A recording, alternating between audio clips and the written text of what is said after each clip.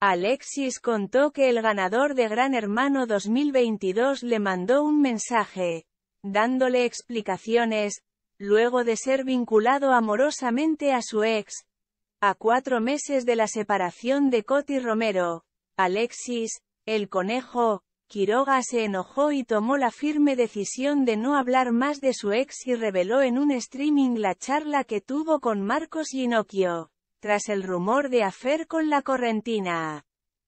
Voy a decir una sola cosita, breve y rápida. Yo HABLE con acento agudo con Marcos. Él me mandó un mensaje desmintiéndome todo. Yo sigo siendo amigo de Marcos, dijo el conejo, detallando la inmediata reacción del ganador de Gran Hermano 2022 tras ser vinculado con Coti. Muy serio. Continuó, no me voy a prender a la gilada. Marcos me mandó un mensaje desmintiéndome todo. Es más, el primo me dio que cuando venga nos íbamos a juntar a comer. Yo HABLE con acento agudo con Marcos. Él me mandó un mensaje desmintiéndome todo. Yo sigo siendo amigo de Marcos. Cansado de los conflictos con Coti Romero, el conejo les habló con contundencia a los seguidores que estaban viendo su stream. No voy a atacar a nadie. No es tema mío. Y otra cosa que les vuelvo a repetir.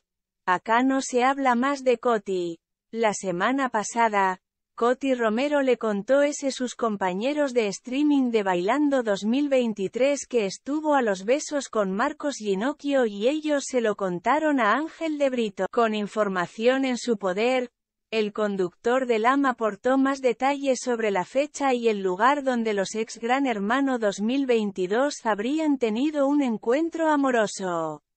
Fue en agosto. Hubo un after en una casa después de la fiesta Bresh y Coti estaba medio bajón. Vino Marcos y empezaron a chapar, contó Ángel. Y agregó, después cortaron porque ambos pensaron Jal estamos flasheando. Esto no está muy bien, porque Marcos es amigo del es de ella, Alexis el conejo Quiroga. Como pocas veces lo hizo, Marcos Ginocchio hizo un vivo y negó haber estado a los besos con Coti